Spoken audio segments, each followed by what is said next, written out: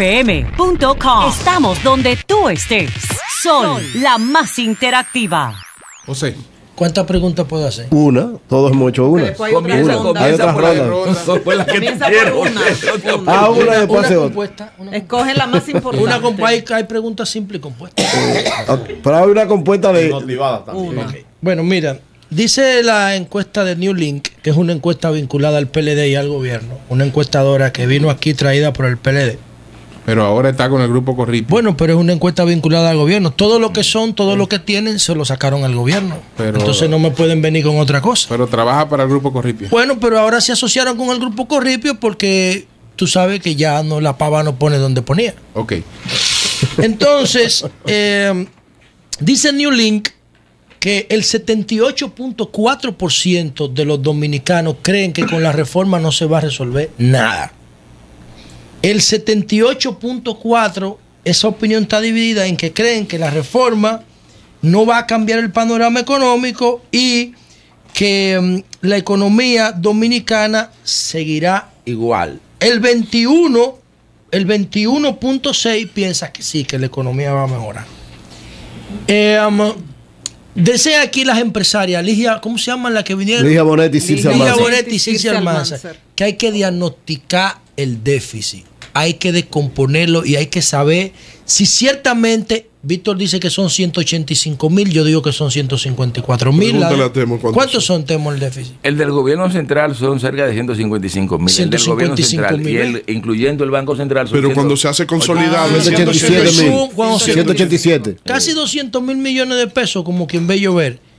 ¿Por qué ese déficit? ¿Cuáles son los responsables? ¿Por qué se incurrió Te- en te- esa te- Temo, empezó empercando No, no, el pero. déficit. No, explicándolo no. No, en pero- partida. pero- no, pero- el diagnóstico. Pero, pero no te preocupes, yo pienso que José tiene. eh, Tomando en cuenta que la sí. mayoría de la población piensa que ustedes están gobernando de espalda a ellos. José, déjame decirte lo siguiente: una reforma tributaria No es popular en no ningún es popular lado. en ninguna parte En del ningún mundo. sitio.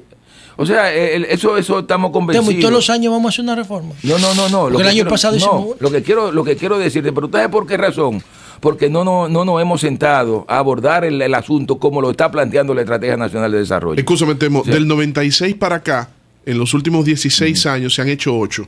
O sea, un promedio de una cada dos años. Una cada dos. Sí, pero, eh, pero, pero en definitiva, es- muchas de esas, esas reformas en gran medida también han contribuido a cambiar el sistema tributario dominicano. Es cierto que no ha habido eh, incremento de la presión tributaria, es cierto que la presión tributaria hoy es la misma que hace, que hace 12 años, pero cuando tú te pones a ver que nosotros tuvimos durante eh, la década que, que recién pasó, que prácticamente transformar el sistema tributario, eh, eliminando fundamentalmente La preponderancia del- del- del- de los impuestos al comercio exterior, porque no podíamos asumir los, los procesos de, de negociaciones comerciales, no podíamos ir a tratado de libre comercio con Estados Unidos, no podíamos ir a tratado de libre comercio con la Unión Europea, manteniendo aranceles como lo que manteníamos en la República Dominicana. Y hoy realmente eh, los impuestos al comercio exterior son relativamente bajos en República Dominicana, significa que se ha hecho un esfuerzo, ha habido un gran cambio. Hoy ya no es tanto la tributación al comercio exterior lo que, lo que determina eh, eh, eh, eh, eh, la capacidad tributaria del país, son, son los impuestos eh, eh, eh, internos lo que al, al final de cuentas nutren la- la- las arcas del gobierno. Ahora, lo que te reitero es que las, las reformas tributarias no son, no son agradables en ninguna Pero parte del mundo. 70 y 78.4. No, no, eh, Acabando de pasar unas elecciones, Pero- que se rechace un proyecto. pero No, le pregunta a Temo y se lo encuentra Pero bajito. siempre, siempre es así, siempre va a ser así, José, en ninguna parte. Tú te vas a Europa, que están ahora también con problemas de reforma tributaria, te va donde sea y te va a encontrar, te va a encontrar con ese problema. O sea, ahora, el, el asunto lo que hay que medir es los efectos de la reforma tributaria, si son positivos o si son negativos. Y yo quiero empezar por algo que le, de- de- le señalaba hace un tiempo, eh, hace la semana pasada, a los dirigentes del Partido Reformista. Aquí, en el año de 1990, nosotros tuvimos que confrontar una de las peores crisis que se recuerda de la República Dominicana. Desabastecimiento de combustible, los 90. desabastecimiento de en los alimentos. 90, al inicio de los 90. El doctor Balaguer inició un proceso de, de búsqueda de solución, Diálogo tripartito. el, el famoso diálogo eh, tripartito, eh, el pacto de solidaridad económica, y eso trajo consigo todo un proceso de reforma. Empezó la modernización de la economía. Correcto. Déjame decirte lo siguiente. Ha sido la reforma tributaria No que se hizo, sí. la reforma el tributaria 90, que, después la que se hizo del Golfo. el, no, entre el 91 y Eso el verdad. 92. entre En el medio 90 de la guerra del Golfo. fue, ha sido la reforma tributaria más alta que se ha hecho en este país. ¿eh? La primera reforma importante que se hizo. La reforma tributaria, la reforma arancelaria, en términos de ingresos, muy importante. La y con el agravante, que- perdóneme, introducir un elemento, y con el agravante de la crisis política de un PLD que no reconocía la legitimidad del triunfo del presidente Balaguer en el 90. Pero, pero, pero, pero elecciones. acuérdate, acuérdate, Víctor, que al final de cuentas fue con nosotros que se pusieron de acuerdo no, en el claro, Congreso. y, y no, y A ustedes pesar del robo de participaron, las a pesar no, de y todo, participaron en el diálogo claro, tripartito. A pesar de todo, a pesar de todo, yo recuerdo muy bien que esas negociaciones la manejó por, el lado del gobierno Luis Toral y por el lado de nosotros la manejó el hoy presidente de la República. Y eso parió esa reforma. ¿Y qué ocurrió? Se incrementaron los impuestos. Al país le fue mal. Al país le fue muy bien. E inclusive yo digo que el éxito de la gestión gubernamental de Lionel del 96 al 2000 estuvo determinada precisamente porque se hicieron esas reformas. Segunda reforma, la reforma del 2004 y la del 2005. Llegamos al gobierno en medio de una crisis, la situación de la crisis financiera que se había generado en el país. Tenemos que hacer otra reforma. La segunda reforma más importante que se ha hecho en los últimos 20 años en el país. No, pero en el 97 se hizo una. Espérate, pero déjame, decirte, pero déjame decirte lo siguiente. Pero te voy a dar plantear resultados para que tú veas que no son malas las reformas. Eh, eh, eh, la del 2004-2005. se hace la reforma. Es después de la reforma de Balaguer la más importante en términos de capacidad de ingreso. ¿Qué le pasó al país? ¿Le fue mal? No. Crecimos 9.3 en el, en, el 2000 cu- en el 2005, 10.7 en el 2006, crecimos 8.5 en, el 2000, en el 2000. 2007. O sea, fuimos, la economía se dinamizó. ¿Tú te refieres a esa? Se hizo para enfrentar el problema. ¿Cu- ¿Cuánto crecimos en el, en el, en el, en el, en el 2010? ¿Cuánto crecimos en el 2010? Crecimos, crecimos 7.8. Pero hubo que hacer otra en el 2011. se generó- Hubo que hacer otra reforma en pero el se- 2011. Se, generó, se ha generado, se ha generado, Pero se ha generado. eso la eh, economía José, está creciendo. Se genera, se- en la economía se genera confianza. Se genera confianza de que las cosas se van a manejar bien. Porque ¿qué es lo que está planteado ahora? Lo que hemos dicho, porque aquí mucha gente se alarma con el tema del déficit. O sea, ha habido una alarma con el tema del déficit. Pero el déficit es parte de la política económica en toda parte del mundo. Pero medio presupuesto, Espérese. Casi El de- 200 oye, mil millones. El déficit, ¿pero cuánto fue la de los Estados Unidos el- el- en medio de la crisis? Más del 12% No, del Producto Interno de Bruto. crisis- ¿Y tú sabes en cuánto termina este año la- la- el déficit en Estados Unidos? 8% del Producto Interno Bruto. En España todavía 7% del Producto Interno Bruto. O sea, Pero nosotros vamos a los estar por encima del 7 del Los déficits este PIB. año, Ahora sí. nosotros- Ahora, ¿qué es lo que estamos planteando, José? Lo que estamos diciendo es, mira, esto no es sostenible en el tiempo. No podemos mantener esto siempre. Hay que frenarlo. Lo que tenemos que frenar esto para que la economía siga siendo creíble, o sea, para que la política económica sigan siendo creíble. Y por eso es que estamos planteando la reforma. Es porque no hay manera de sostener en el tiempo eso, porque se nos cae la economía. Entonces, no es que, no es que estemos condenando lo que ha ocurrido en el pasado. O es- sea, usted saluda el déficit. No, yo lo que estoy El diciendo, de gasto yo lo que estoy diciendo es que no es un crimen, ¿eh? No es un crimen, es, un instrumento de política económica. El déficit ha sido es siempre. keynesianismo. Claro Pero que sí. Está bien, claro Temo, que pero sí. si yo le digo a usted, le apruebo una ley, un presupuesto, una ley de gasto, y le digo, usted va a gastar 50. Y usted me gasta 100, usted tiene que responderme por los otros 50 Pero tú- porque son pero, ilegales. José, pero tú tienes yo no le dije que gastara José, 100. pero tú tienes instrumentos constitucionales que te, también te permiten pedir autorización al Congreso para hacer los cambios que tiene que hacerlo, porque si, si a ti se te caen los ingresos que tú no lo tenías previsto, o sea, si tú asumías que ibas a recibir 100 y nada más recibe 80, ¿qué tú haces? Tienes que volver al Congreso y decirle, mire, me pasó este problema. Si tú creíste que tenía que transferir eh, eh, 200 y tienes que transferir 10 mil, tienes que buscar la manera de, de legalizar eso. Y eso es lo que se ha hecho, en definitiva. Entonces, lo que quiero decir es que esto es parte del ejercicio de la política económica de cualquier país del mundo. O sea, eh, eh, hay, hay un economista que dice, hay un economista que dice que los déficits y la deuda son como los pecados, moralmente repro- reprobables, pero difíciles de evitar. ¿eh? Aquí todo el mundo, y, y, y, y- y Eury es, es cristiano, Sí, sabe muy bien que todo el mundo hablamos, vivimos hablando de que no pequen, de que no pequen, pero, la gente peca. pero en esa magnitud. Pero la gente peca. En esa magnitud. El este pecado déficit no tiene precedente. Este déficit es mayor que el del 2003. Pero, pero lo que Este te es el mayor, es el mayor ¿Qué está déficit pasando de toda la Se nos historia. Pero lo que te quiero decir es lo siguiente, el asunto es hemos partido de ese dato, el gobierno lo ha reconocido, ha sido el gobierno que lo ha reconocido, el gobierno no lo ha ocultado. Lo que te estamos diciendo es, mire, esto no lo podemos sostener, tenemos que resolver el problema, porque además cuando analizamos el gasto público, y se, hemos- se lo hemos analizado a los empresarios, se lo hemos reiterado a los empresarios, lo que se pone en evidencia que si no tomamos medidas, Ahora. ahora, el año que viene, con esta situación de gasto que se concentra fundamentalmente en esos cuatro ministerios que yo te he dicho, que no los podemos tumbar, si, si, si no tomamos medidas, el año que viene, el déficit del gobierno va a ser del orden del 5.6% del Producto Interno Bruto. Son las 9.32 minutos. Vamos a un cambio. Entonces regresamos con Eury Cabral. Tres preguntas más. Fue Manuel González Manegonte que tiene una pregunta para Temo. Pero primero Eury. Así es, Temo. Siempre se habla de que las reformas que más benefician o que menos perjudican, porque todas afectan, tienen que tener un sentido progresivo. Progresivo quiere decir ponerle más impuestos a los que más pueden pagar. En el caso de República Dominicana hay un grave problema y es que tradicionalmente los que siempre han pagado los impuestos son los mismos que siempre lo han estado pagando. ¿Cómo cambiar esta tendencia ahora? O sea, no es, no es la misma realidad que se está viviendo. ¿Cómo reorientar eso? Mire, el- para que podamos entender el, el porqué de la tributación en este país, eh, la- cómo opera la tributación en este país, hay que, hay que entender primero la naturaleza de los impuestos. Primero hay impuestos directos e impuestos indirectos.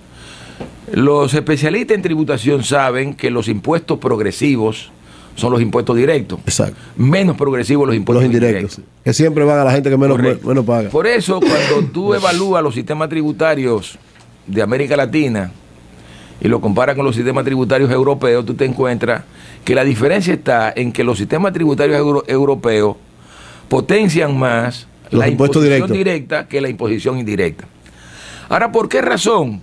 Por el hecho de que en Europa el sistema productivo es fundamentalmente un sistema, valga la redundancia, formal. Ok. Entonces tú puedes, en un sistema formal, eh, aplicar impuestos sobre la renta a todo el mundo, tanto a las personas físicas como a las personas eh, morales, o sea, a, la- a la- a la- a las instituciones, a las empresas. Eh, tú puedes, tú puedes realmente tener, tener más control del patrimonio de, de- de la sociedad. O sea, la informalidad aquí lo impide, Ahora, el gran lo problema, limita. correcto, no aquí, sino en, En- toda en todos los América, América Latina, Latina. es que hay un sector muy importante de la producción que es informal. Informal. Y la informalidad se define precisamente por eso, porque no paga impuestos. O sea, el, el que no paga impuestos y Es informal. produce es, es informal. Eso es lo que define la, la informalidad. Entonces, por esa razón, en América Latina, como el sector informal es tan grande, no aquí, en Brasil, en Argentina, en todas partes, los países han recurrido de manera preponderante a los- a la imposición indirecta. Porque se entiende, obviamente, que aunque es regresivo, pero el hecho de que le facilita recursos a los gobiernos, esos recursos entonces se pueden utilizar en educación, en salud, y lo convierten, en Reinvertirlo me- socialmente. y lo convierten en cierta medida en, en, en, en, en progresivo. O sea, si tú los recursos los utilizas para desarrollar la educación, desarrollar la salud, o sea, desarrollar la sociedad en sentido general, entonces en ese sentido tú lo, tú lo estás convirtiendo en progresivo, aunque se sabe que lo correcto debía haber- debe- debe- debería haber sido que el, el sistema se fundamental, eh, fundamentalmente en, en- en la imposición directa. Ahora, en esta reforma que se está planteando, una de las cosas, y posiblemente es posible que eso sea eh, una de las razones que, que mueva a reacción, es que hay una parte muy importante de este paquete que tiene que ver fundamentalmente con la tributación directa. Y hay gente que obviamente se sienten afectados por eso. Manegote. Sí, una, una pregunta, ingeniero. ¿Por qué no se ha explicado la diferenciación en el caso, por ejemplo, del ITEBI? En el caso de productos, por ejemplo, del 01 al 24, que son los productos de la- del grupo agropecuario, la diferenciación entre producto local y producto ex- extranjero. Ejemplo, por ejemplo, aquí en la República Dominicana se importan aproximadamente 46 millones de dólares solamente en productos de panadería, galletitas, por ejemplo, con un trigo, no, no, no, eh, con un trigo que es eh, subsidiado, por ejemplo, en los países donde lo, donde lo produce. O el caso de los quesos, que también es subsidiado y las exportaciones son subvencionadas, que se importan 33 millones de dólares. Sin embargo, estos vienen al país, no pagan aranceles y lo más, lo más grave es que no pagan ITEBI, no pagan absolutamente nada, no, no se tributa y compiten deslealmente con los productos hechos en la República Dominicana. Sí, mira, esa es una buena pregunta, porque en los debates que hemos, que hemos tenido al interior del equipo de, del gobierno, eh, lo que, lo que ha primado, obviamente, a la hora de, de plantear la propuesta, es sacar de la reforma aquellos productos que de manera directa tienen que ver con la, con la, con la comida de la gente, con la canasta básica de la gente. Eh, el, el- problema es que en- es- eh, la manera como funciona el- el sistema tributario es que muchas veces, aun cuando uno quisiera eh, eh, establecer divisiones entre eso que tú señalas que viene de fuera y lo que, lo que se genera aquí, es que resulta, eh, re- resulta muy complicado en, en la, en la nomenclatura que se maneja a nivel del sistema tributario, eh, dividirlo por, por, las, por, las, por los, eh, eh, eh, eh, los vasos comunicantes que hay entre una, entre, entre una cosa y otra, porque de alguna manera una parte muy importante de las cosas que se cuando- producen aquí en el cuando país. pones un pan con un pan con impuesto en el supermercado Sí. Y otro sin impuesto, un sin problema. Claro, impuesto, eh, todo, todo el camino se va por el pan Claro, sin entonces ese es el problema, es la dificultad. es complicado el sistema Sí, tributario Sí, dominicano. entonces, eh, todo eso- todas esas cosas las vimos y obviamente al final de cuentas sabemos que esas cosas que tú dices son así, pero que si nos vamos a rajatabla a aplicar las cosas, entonces vamos a terminar afectando a, a los sectores pobres de la población que, que consumen pan. Dice, Exacto. dice Manuel Díez Cabral, que lo dijo aquí, y Ligia, Circe, que cuando hablas de una Y Rafael Paz presión Familia. tributaria baja de un 13%, no está No incluye el seguro en social.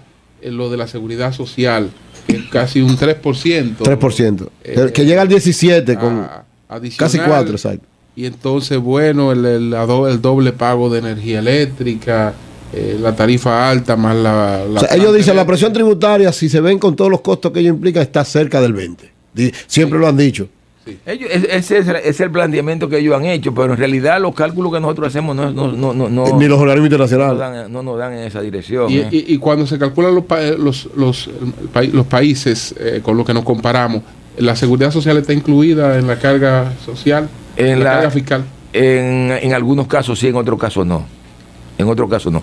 Pero en el caso de la República Dominicana, los datos que nosotros manejamos, incluyendo seguridad social, y eso es comparativo, tú lo encuentras, tú lo encuentras inclusive si ustedes entran a la base de datos de la CEPAL, que tiene una base comparada con todos los países de América Latina, nosotros, con todo y seguridad social, seguimos siendo uno de los países De menos, de menos presupuesto. Ingeniero, ingeniero Juan Temito usted ha sido entre Víctor. secretario técnico de la presidencia y ministro de Economía, Planificación y Desarrollo. Ah, yo. Usted ha estado al frente del equipo económico del gobierno en los últimos, Yo no empecé, yo terminé. digamos, los 10, 11 años de los últimos 16 años. Muchos sectores reclaman responsabilidades. José La Luz hablaba ahorita, o sea, ¿quiénes son los responsables de este déficit acumulado al día de hoy? ¿Quiénes son las cabezas? ¿Quiénes son los nombres y apellidos de esos responsables? Mucha gente lo señala a usted en primera línea porque, como le decía, usted ha sido en los últimos... mucha gente. Usted ha sido, usted ha sido ministro de Economía 11 de los últimos 16 años. Mire, déjeme decirle lo siguiente. Yo te dije, Temo, que te iba a hacer esta pregunta. No, no, pero está bien, está Víctor bien, está diciendo, está bien. dicen por ahí lo que Eh, piensa, lo que la No, planteado. no, no, pero ya es que lo he oído varias veces. Pero no lo digo yo solo. He oído No, varias no, veces. es he verdad. oído varias veces. Primero, ya ustedes me han oído explicar a mí cómo yo veo el tema del déficit. Los déficits son parte de la política económica, se aplican o no se aplican. Hay países que entienden que no, que no deben tener déficit o que deben ser controlados. Hay otros que entienden que a los fines de estimular la economía, a los fines de desarrollar determinado tipo de, de- de- de- política de inversión pública, tienen que tener déficit. O sea, que eso es parte de la política económica en un país. Ahora, lo importante que ustedes entiendan es que aquí, a partir del año 2007, se produjo una reforma importante en la, en la administración financiera del Estado. Esa reforma importante pasó todo lo que era la política fiscal del gobierno al Ministerio de Hacienda. El Ministerio de Economía no maneja Es política fiscal. O sea, nosotros no somos los que manejamos la política fiscal No, del eso lo maneja Hacienda. Eso lo maneja Hacienda. De manera que eh, Ustedes manejan la planificación. el tema de la Y planificación. por lo general hay mucha Sí. distancia entre lo que planifica Temo y lo que lo que se ejecuta ejecuta. Sí. No, pero no es No. tampoco no es un problema de Simón. Lo que digo, lo que No, quiero decir, lo- lo que quiero decir es lo ahora, siguiente, pero- para que estemos claros, que nosotros estuvimos manejando la política fiscal hasta el año 2007. O sea, eso fue una... una Un requerimiento una- del fondo. una no, y una responsabilidad del fondo, de una responsabilidad de, del secretario técnico de la presidencia durante muchos años. A partir del 2007, en el marco de los acuerdos con el Fondo Monetario Internacional, se entendió que todas las funciones fiscales tenían que pasar a Hacienda. Y a partir del 2007, Hacienda ha manejado, ha manejado la política fiscal. Marilena. Dos por uno. Pero los responsables. Una, una pregunta. Bueno, lo que estoy diciendo es parte de una política general de un gobierno. O sea, El gobierno en sentido el general. gobierno en sentido general fue el que aplicó esa política y la, y la- y la- y la- y la puso en marcha. Claro. Pero a Doco lo identifica a usted, a, a Daniel Toribio, la Alianza Dominicana contra la Corrupción de Julio César de la Rosa. Dice que usted como ministro de Economía, Vicente Bengoa y Daniel Toribio como ministros de Hacienda y Valdés Albizu El como gobernador. El, el ministro de Economía no gasta. pero, dice, Dice- pero, dice, pero dicen que debe gastarse. Pero fue el gobierno, es el pero gobierno el pero responsable. Lo importante es que se enteren mejor a la hora de, de tomar decisiones y a la hora de hacer cosas. eh, tienen que informarse bien Sí. mejor.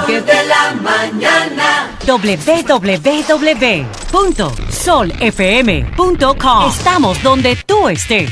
Sol, la más interactiva.